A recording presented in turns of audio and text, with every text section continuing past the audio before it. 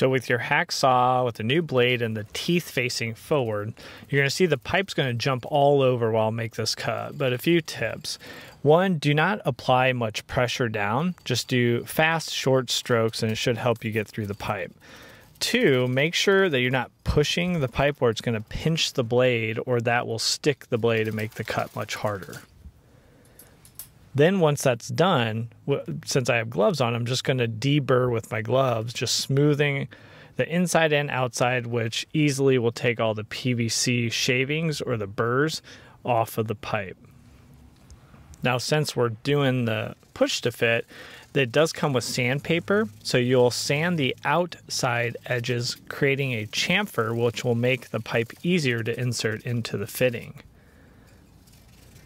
Then you need some type of lubricant. All I'm using is dish soap here. So just putting dish soap around each of the outsides and then marking one inch to know that when I got full depth within the coupling. So here's the coupling. Make sure your O-rings are in the channels and seated. And then without it at an angle, so straight onto the pipe, you'll press and do a slight twist. And you'll see that one inch mark will then go away.